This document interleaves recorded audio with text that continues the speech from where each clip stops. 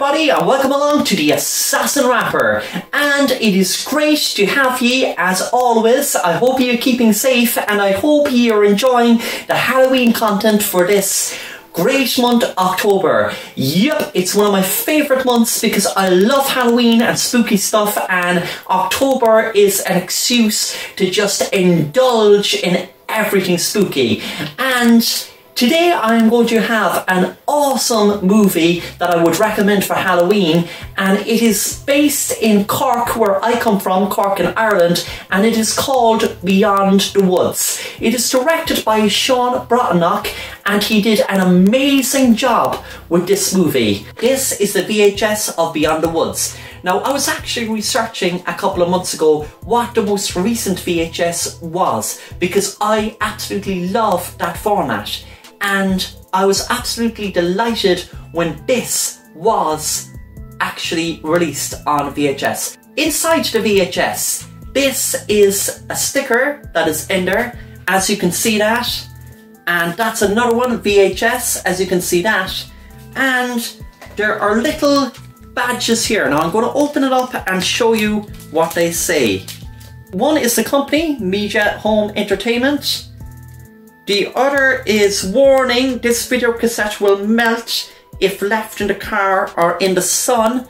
There you have it there. And then there is the same one. Then Be Kind Rewind. That's a nod to the VHS era. Then Horror. And there are 50 cent charge if tape is not rewound. That's another one. And then, is there any more horror? That's it. This is the cover of the VHS. A really good snap there of the monster in it and the graphics beyond the woods and there the friends that go into the woods. I'm going to tell you more about that in a while and that is the back of it. I love the artwork in this. It is really, really nice. And then that is the video. And there you have it. Beyond the Woods there. And this is the VHS cassette. Made in 2020. How cool is that? And this is the VHS cassette made in 2020. How cool is that? Before I get into the story, let me read the back of it so that you'll have a grasp of what it's all about. Seven friends arrange a reunion at a secluded holiday home in Ireland. Unfortunately for them, a fiery sinkhole has opened up in the mountains nearby, spewing out sulphur and causing a nauseating smell outside. They might be confined to the house, but the friends are still determined to have a good time. As the weekend progresses, some of the group start behaving out of character. Before long, they realise it's not just a sinkhole that has opened near their home, but something far more horrific a portal that unleashes a sinister supernatural presence. In many ways, Beyond the Woods feels like a polished shot on a video horror flick directed by M. Night Shyamalan Rue Morgue. A full-blown supernatural mindfuck of a movie, Rogue Cinema. There it is.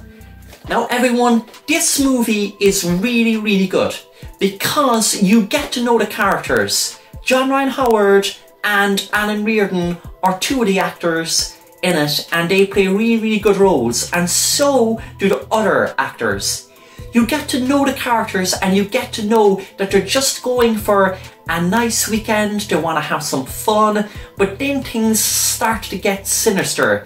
The monster has supernatural powers, but he has a liking to kill a certain way.